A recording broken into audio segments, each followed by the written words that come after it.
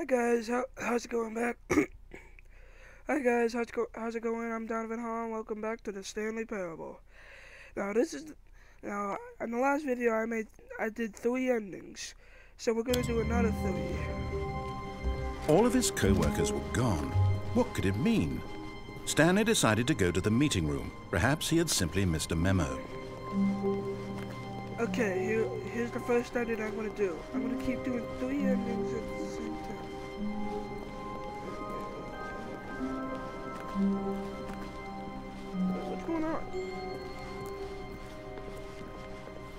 When Stanley came to a set of two open doors, he... This was not the correct way to the meeting room, and Stanley knew it perfectly well. Perhaps he wanted to stop by the employee lounge first, just to admire it. The lounge was sublime, a work of art. What, but eager to get back to business, Stanley took the first open door on his left. Stanley was so bad at following directions, it's incredible he wasn't fired years ago. Okay, this time I'm gonna stay on Look, Stanley, I think perhaps we've gotten off on the wrong foot here. I'm not your enemy, really, I'm not. I realize that investing your trust in someone else can be difficult, but the fact is that the story has been about nothing but you all this time. There's someone you've been neglecting, Stanley. Someone you've forgotten about. Please, stop trying to make every decision by yourself. Now, I'm not asking for me, I'm asking for her. This is it, Stanley. Your chance to redeem yourself, to put your work aside, to let her back into your life. She's been waiting. That's her, Stanley. you. You, You need to be the one to do this, unplug the phone. to reach out to her. pick up the phone.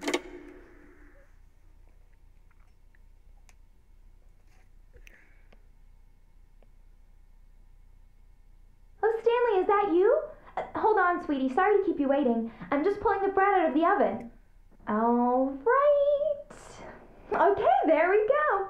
All right, now, I want you to come in and tell me all about Your damn Guys, that's not really. Gotcha. That's a- that's a- Oh, a come on. mannequin. Did you actually think you had a loving wife who'd want to commit their life to you? I'm trying to make a point here, Stanley. I'm trying to get you to see something. Come inside. Let me show you what's really going on here. This is a very sad story about the death of a man named Stanley.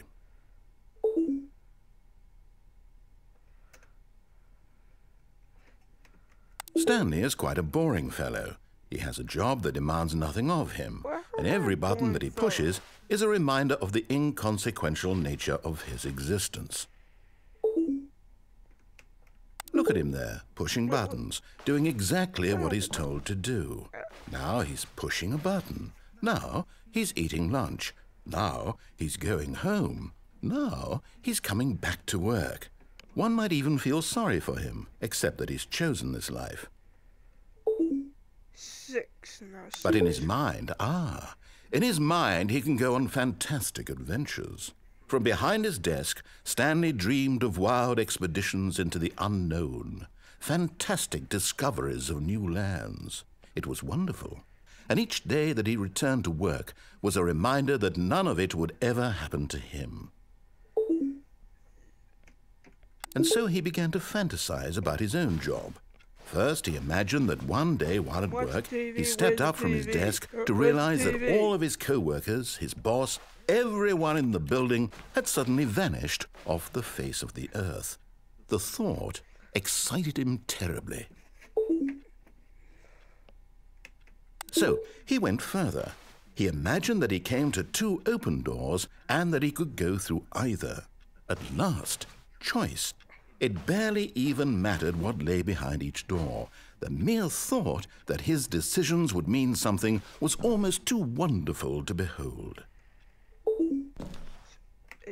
As he wandered through this fantasy world, he began to fill it with many possible paths and destinations. Down one path lay an enormous round room with monitors and mind controls. And down another was a yellow line that weaved in many directions. And down another was a game with a baby. And he called it the Stanley Parable. It was such a wonderful fantasy, and so in his head he relived it again, and then again, and again, over and over, wishing beyond hope that it would never end, that he might always feel this free. Surely there's an answer down some new path, mustn't there be? Perhaps if he played just one more time. B. But there is no answer. How could there possibly be? In reality, all he's doing is pushing the same buttons he always has. Nothing has changed. The longer he spends here, the more invested he gets, the more he forgets which life is the real one. And I'm trying to tell him this that in this world he can never be anything but an observer. That as long as he remains here, he's slowly killing himself. But he won't listen to me. He won't stop. Here, watch this. Stanley, the next time the screen asks you to push a button, do not do it.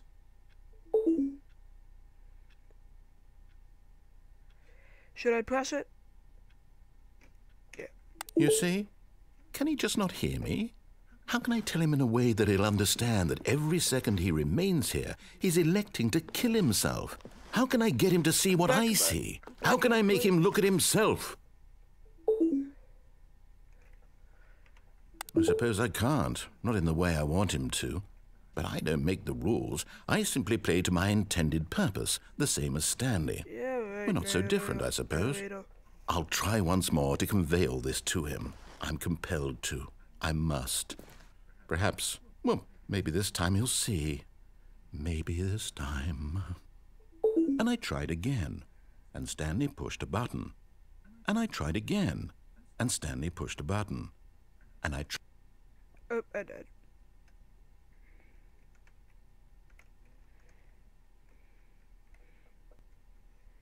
Okay, that was our first ending.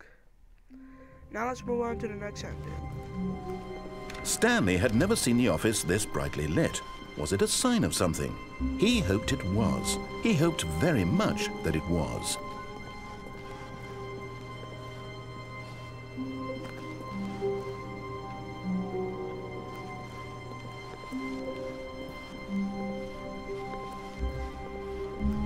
Stanley came to a set of two open doors, this was not the correct way to the meeting room, Guys, and Stanley knew it perfectly well. This time we're Perhaps he wanted to stop by the employee lounge first, just to admire it. Standing now in this incredible room, Stanley for the first, but eager to get back to business, Stanley took the first open door on his left. Stanley was so bad at following directions, it's incredible he wasn't fired years ago. Look, Stanley, I think perhaps we've gotten off on the wrong foot here. I'm not your enemy, really, I'm not. I realize that investing your trust in someone else can be difficult, but the fact is that the story has been about nothing but you all this time. There's someone you've been neglecting, Stanley. Someone you've forgotten about.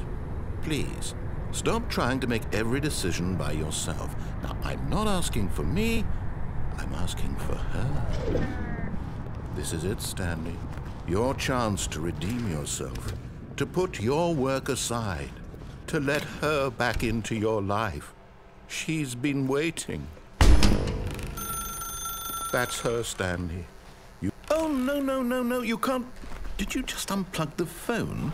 No, that wasn't supposed to be a choice. How did you do that? You actually chose incorrectly? I didn't even know that was possible. Let me double check. No, it's definitely here, clear as day. Stanley picks up the phone. He's taken to his apartment where he finds his wife, and the two pledge themselves to one another. Music comes in, fade to white, roll credits. Not picking up the phone is actually somehow an incorrect course of action. How is that even possible? None of these decisions were supposed to mean anything. I don't understand. How on earth are you making meaningful choices? What did you. Wait a second. Did I just see. No, that's not possible. I can't believe it. How had I not noticed it sooner? You're not Stanley. You're a real person. I can't believe I was so mistaken.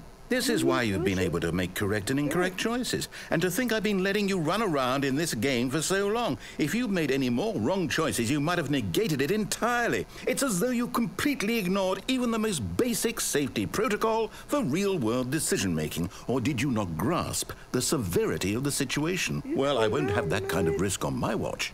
I'm going to stop the game for a moment so we can educate you properly on Okay, safe yeah, decision making in the real world. Please observe this helpful instructional video. Where's the video? Choice. It's the best part of being a real person. But if used incorrectly, can also be the most dangerous. For example, in this scenario, a hypothetical real person named Stephen has a choice. He could spend years helping improve the quality of life for citizens of impoverished third world nations. Or he could systematically set fire to every orphan living in a 30 kilometer radius of his house. Which choice would you make? Remember that unlike here, the real world makes sense, and at no time should you make a choice that does not conform to rational logic. If you find yourself speaking with a person who does not make sense, in all likelihood, that person is not real. Allow the person to finish their thought, then provide an excuse why you cannot continue talking. Turn to a partner and practice saying, My goodness, is it 4.30? I'm supposed to be having a back sack and crack. Wait, what did he say? What did he say? Excellent. Making choices on a regular basis is the best part to a healthy decision making process. Most medical professionals recommend making at least eight choices per day. Do you make more than eight? Less? And finally, if you begin to wonder if your choices are actually meaningful and whether you'll ever make a significant contribution to the world, just remember that in the vast infiniteness of space, your thoughts and problems are materially insignificant, and the feeling should subside. At this time, your instructor will guide you in an exercise to test and reinforce the material covered in this video. Ah, welcome back. You may have noticed that this room has begun to deteriorate as a result of narrative contradiction. But not to worry. Now that you're properly informed on good decision making, we're going to revisit a choice you made just a few minutes ago and see what the correct thing to do would have been. This way, please. Okay.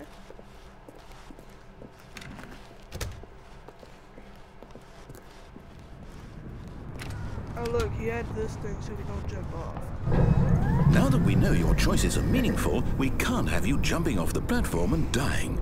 Imagine the main character dying senselessly halfway through the story. That story would make no sense at all. We just need to get you home as soon as possible before the narrative contradiction gets any worse. Unfortunately, it seems this place is not well equipped to deal with reality. Okay.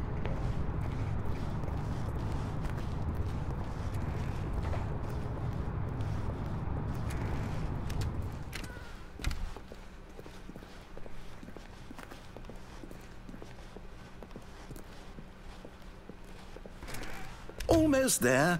You'll take the door on the left, back to the correct ending, the story will have resolution once again, and you'll be home free in the real world. Guys, we'll go to the red door first. Now remember, all you need to do is behave go to the exactly as. Stanley would. That means choosing responsibly and always putting the story first. I'm quite sure you'll be up to the task. Just follow my lead and you'll be fine. All right. when Stanley came to a set of two open doors, he entered the door on his left. Right? Okay. No! Why did you do that? Quickly, hurry back in the other direction. Perhaps we're not too late.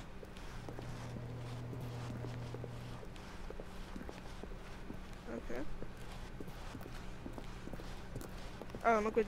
Oh, it's ruined. You, I can't believe, after everything we talked about, that you. My story. You've destroyed my work. Why? For what?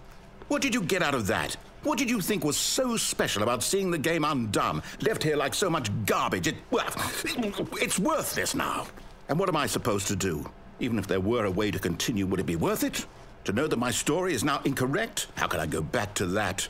I can't erase that knowledge. I'll have to live with it forever, reliving its impossibility forever. I couldn't live that way.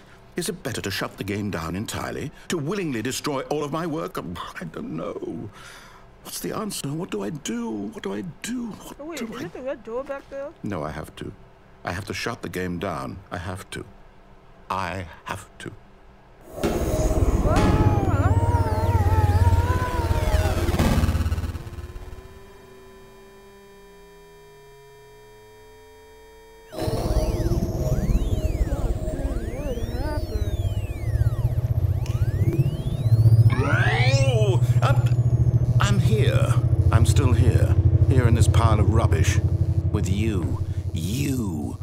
thought you were so clever.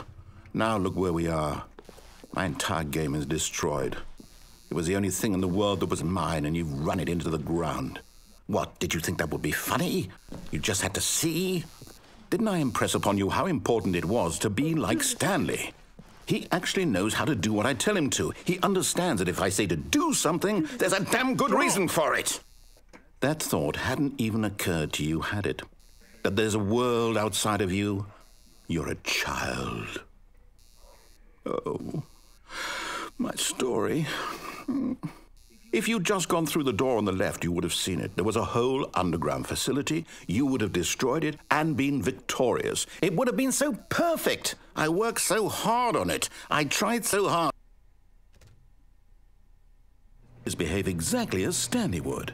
That means choosing responsibly and always putting the story first. I'm quite sure you'll be up to the task. Just follow my lead and you'll be fine. All right. when Stanley came to a set of two open doors, he entered the door on his left. Okay.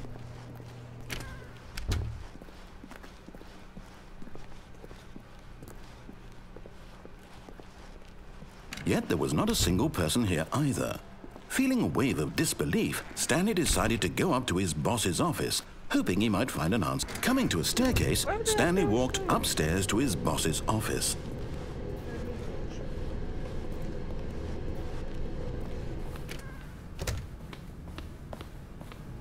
Stepping inside his manager's office, Stanley was once again stunned to discover not an indication of any human life. Shocked, unraveled, Stanley wondered in disbelief who orchestrated this until he saw the door with a voice receiver next to it. Surely behind this door lay all the answers to his questions. And beyond all probability, Uh, he knew the can't talk to the passcode. He had seen it on his boss's computer just last week. Nightshark 115. Was this the code to open the door? Would it still work? There was only one way to find out. Stanley had been trained never to speak up, but now he would draw from within himself the courage to face the unknown. He drew a sharp breath and then spoke the code. Uh, I didn't spoke the code. I don't even know how. I can't speak the code now, narrator.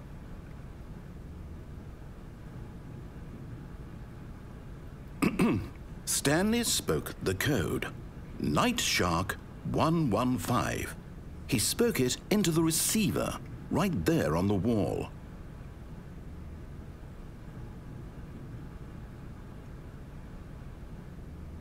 I'm sorry, is there a problem? Yeah, there's a problem. You didn't mishear me, did you? Please speak the code into the receiver. Otherwise, we can't get on with the story. This is a crucial step.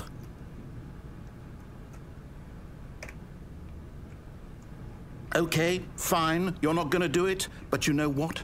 It's pretty humiliating to bring you this far, only for you to suddenly decide you have better things to do. I asked you for this one single thing, for your respect. The kind of respect Stanley shows for his choices. He knows what it means to take a story seriously.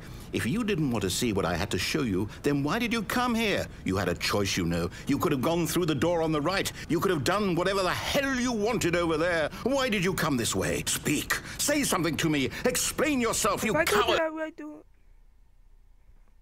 When Stanley came to a set of two open doors, he entered the door on his left.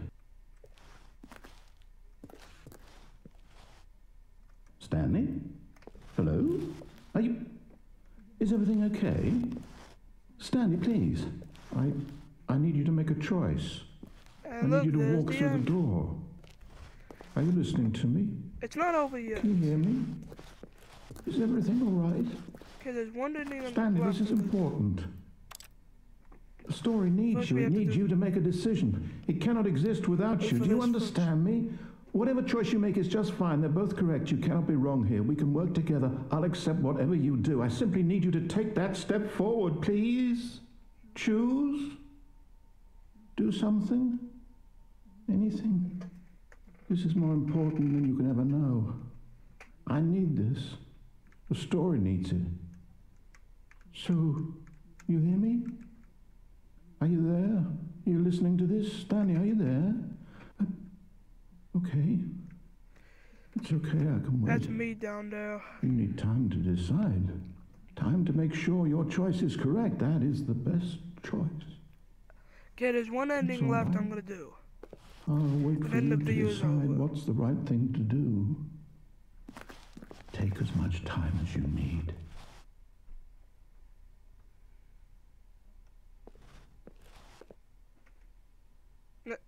Uh, uh, that's right.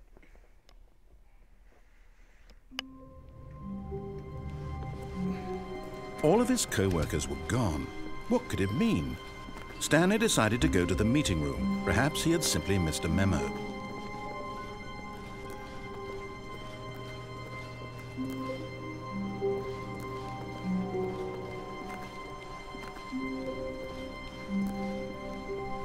When Stanley came to a set of two open doors, he entered the door on his left.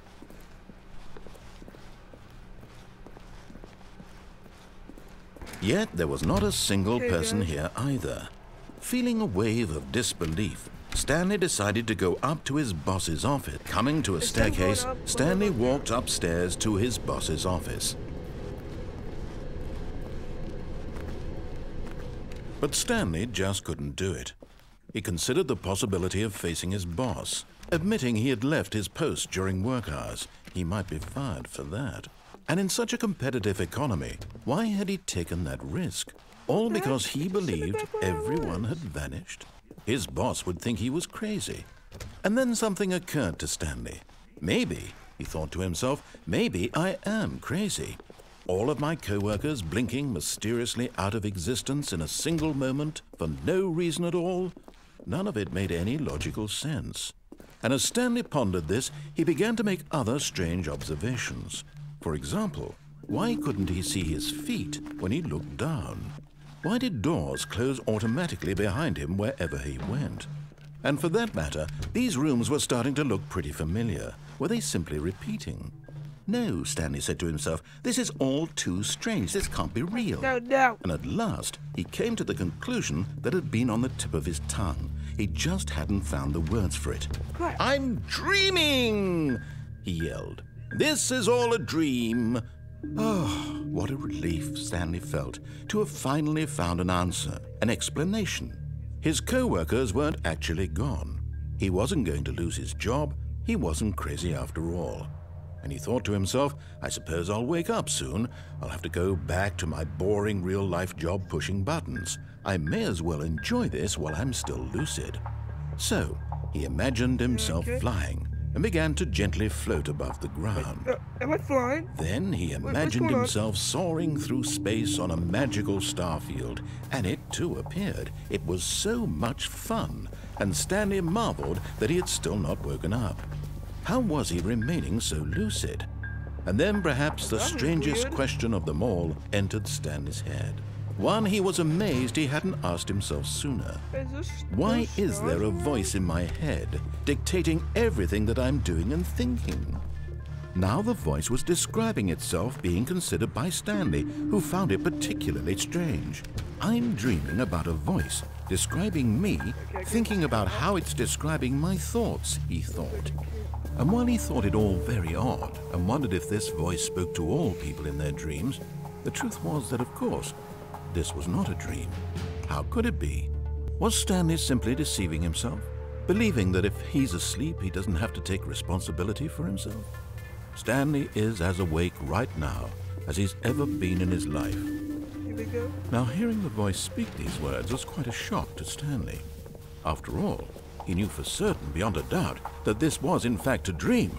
Did the voice not see him float and make the magical stars just a moment ago? How else would the voice explain all that? This voice was a part of himself too. Surely, surely, if he could just. He would prove it. He would prove that he was in control, that this was a dream. So he closed his eyes gently, and he invited himself to wake up. He felt the cool weight of the blanket on his skin, the press of the mattress on his back, the fresh air of a world outside this one.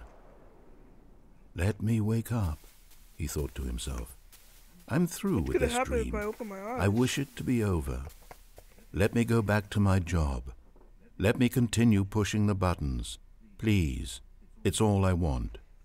I want my apartment, and my wife, and my job, all I want is my life exactly the way it's always been. My life is normal. I am normal. Everything will be fine. I am okay.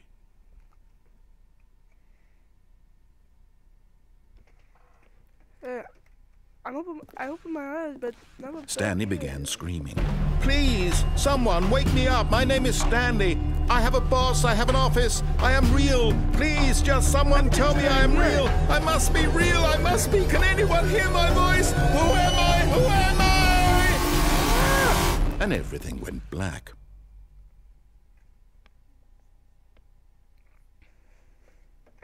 This is the story of a woman named Mariella. Mariella woke up on a day like any other. She arose, got dressed, gathered her belongings, and walked to her place of work. But on this particular day, her walk was interrupted by the body of a man who had stumbled through town talking and screaming to himself, and then collapsed dead on the sidewalk. And although she would soon turn to go call for an ambulance, for just a few brief moments she considered the strange man. He was obviously crazy, this much she knew. Everyone knows what crazy people look like. And in that moment, she thought to herself how lucky she was to be normal. I am sane. I am in control of my mind. I know what is real and what isn't. It was comforting to think this, and in a certain way, seeing this man made her feel better. But then she remembered the meeting she had scheduled for that day the very important people whose impressions of her would affect her career, and by extension, the rest of her life. She had no time for this, so it was only a moment that she stood there, staring down at the body. And then she turned and ran.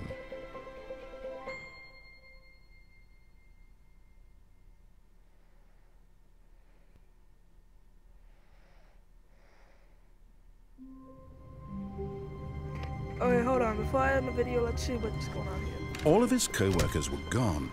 What could it mean? Stanley decided to go to the meeting room. Perhaps he had simply... When Stanley came to a set of two guys, open doors, um, he entered the door on his left. I'm, I'm ending the video here, so um, guys, please give this video a thumbs up if you like it. If you did like it, hit that like button in the face.